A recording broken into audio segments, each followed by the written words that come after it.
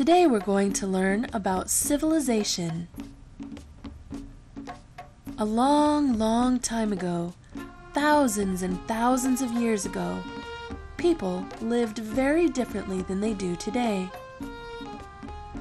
Instead of living in a house or a city and buying their food at a store, people lived in small groups, hunting animals for meat and gathering wild food like vegetables, berries, and fruits.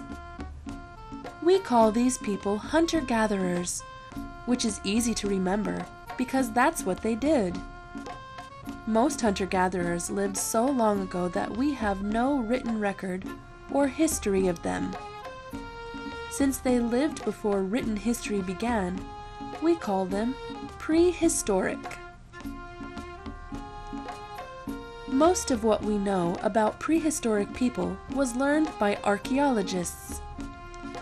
Archaeologists are scientists who study humans by looking at what people have left behind. Archaeologists discovered that at some point, the hunter gatherers learned to grow their own food and domesticated animals like cows, pigs, chickens, and goats. This is called agriculture. Agriculture helped provide a steady source of food. People were even able to grow and store more food than they needed. Hunter gatherers needed to move around to find animals and food. But in order to farm, people needed to stay in one place. Staying in one place with extra food, people started to build villages. More and more people were able to live together because there was enough food. There was so much food available that some people began to be able to do work that was not directly related to getting enough food to eat. Those people started to specialize or concentrate on becoming experts in one kind of work.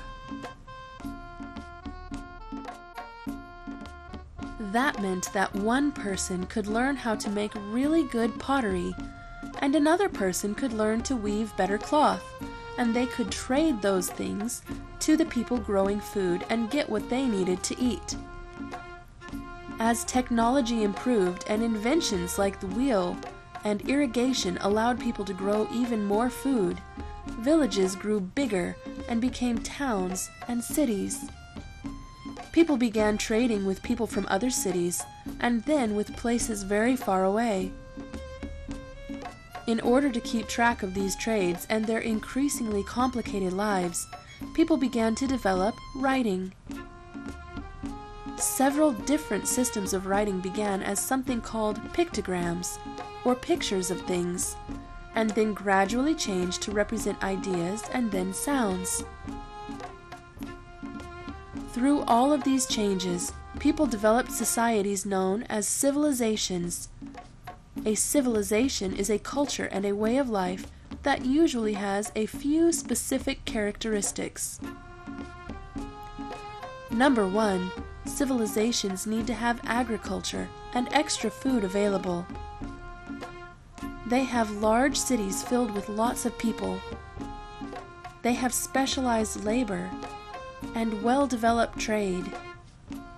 In almost all cases, they have a written language.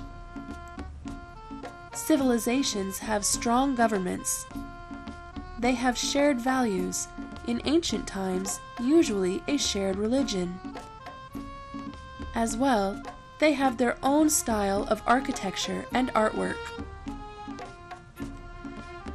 The first known civilization developed over 7,000 years ago in Mesopotamia.